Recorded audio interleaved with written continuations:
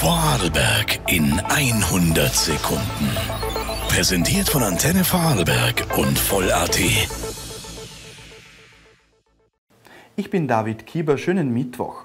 Als kurz aber heftig bezeichnet die Rettungs- und Feuerwehrleitstelle das Gewitter gestern Abend. Innerhalb einer Stunde musste die Feuerwehr in Vorarlberg 30 Mal ausrücken.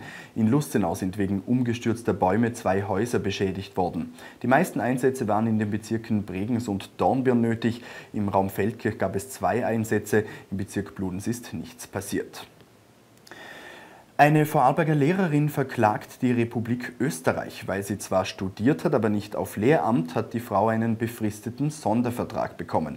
Erst in zehn Jahren würde dieser in einen unbefristeten Vertrag umgewandelt. Zu spät für die Klägerin. Sie will das unbefristete Dienstverhältnis sofort. Eine Lösung steht schon im Raum. Die Lehrerin bekommt ein unbefristetes Dienstverhältnis und beide Parteien müssen die Verfahrenskosten selber tragen. Eine Entscheidung des Bildungsministeriums steht aber noch aus.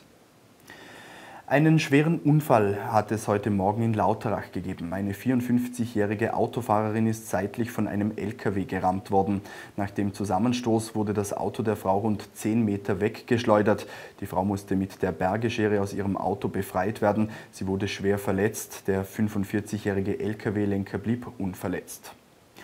Und das Land Vorarlberg hat den Literaturpreis 2017 ausgeschrieben. Mit dem Preis sollen Schreibtalente in Vorarlberg in ihrem Werdegang unterstützt werden. Zu gewinnen gibt es ein Preisgeld von 7000 Euro sowie bis zu drei Stipendien zu je 1500 Euro. Bis 7. Dezember kann man sich beim Land bewerben. Damit Dankeschön fürs Zusehen und bis morgen.